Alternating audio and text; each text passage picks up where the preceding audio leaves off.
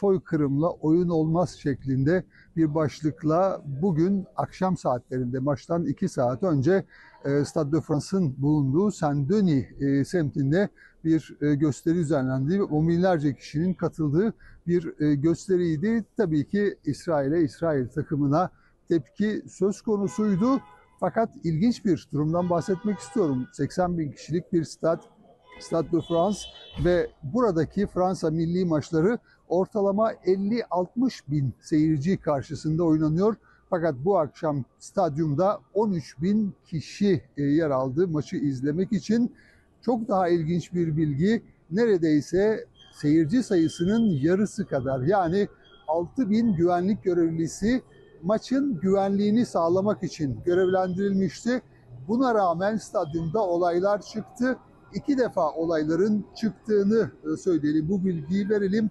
Önce ilk yarının e, ortalarında İsrailli taraftarların bulunduğu bir tribünden Fransız taraftarlara bir saldırı gerçekleşti.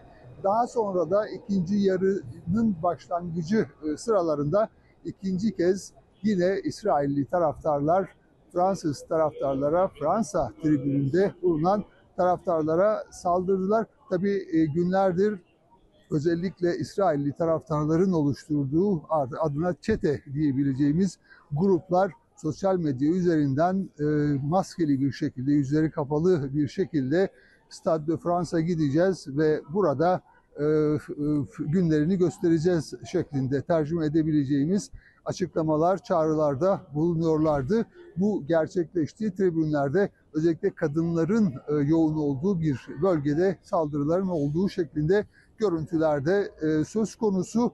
Fransa yönetimi e, hemen ifade edelim Cumhurbaşkanı, Başbakan, İçişleri Bakanı, eski Cumhurbaşkanları veya Fransa Paris bölgesi, e, Kuzey e, bölgesi başkanlarının yer aldığı e, tribünlerde yerlerini aldığı bir maç oldu. Fakat Fransa yönet Fransa Fransız taraftarının Fransalı futbol, severlerin boykot ettiği bir maç biraz önce bilgileri de verdim. Fransa tarihinde en az seyircinin rağbet ettiği milli maç olarak tarihlere geçti. Yaklaşık 13 bin seyirci e, tribünlerde yerini aldı. Bunun yarısı kadar da güvenlik e, görevlisi stat çevresinde kuş uçurtulmuyor. Stada yaklaşırken bütün metrolar veya otobüsler kontrolden e, geçirilerek e, seyirciler e, stada alındı. Buna rağmen İsrailli taraftarların stat içerisinde Fransız taraftarlara saldırdığı e, görüntüler e, e, sanıyorum şu an e, ekranda e, takip edilebiliyor. Böyle bir durum söz konusu. Amsterdam'la sürekli kıyaslanıyordu. Amsterdam'da çıkan İsrailli taraftarların saldırıları, fanatiklerin saldırıları sonrası çıkan görüntüler ortada e, ve hala tartışılıyor. Bu akşam ise başkent Paris'te Fransa-İsrail e, milli maçı sırasında yine benzer görüntüler ortaya çıktı. 61. dakikası maçın şu an ve 0-0'lık beraberlikte devam ediyor. Bu bilgiyi de vermiş olalım.